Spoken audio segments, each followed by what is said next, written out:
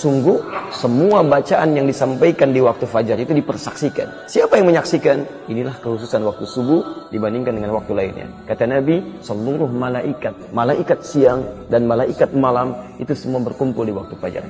Jadi kalau kita memanfaatkan waktu fajar ini dengan memperbanyak doa kepada Allah, kemudian dengan meningkatkan bacaan-bacaan kita, bacaan Al-Qur'annya, zikirnya dan sebagainya, apalagi ini di hari Jumat, maka Masya Allah, bukan hanya Allah yang kemudian menerima doa-doa kita, tapi malaikat turut bergabung di situ untuk mengaminkan dan mengistighfarkan segala permohonan ampunan kita. Saking mulianya waktu fajar ini, jangankan sholat fardunya, ya dua rakaat sebelum sholat subuh, lebih baik daripada dunia dan seisinya.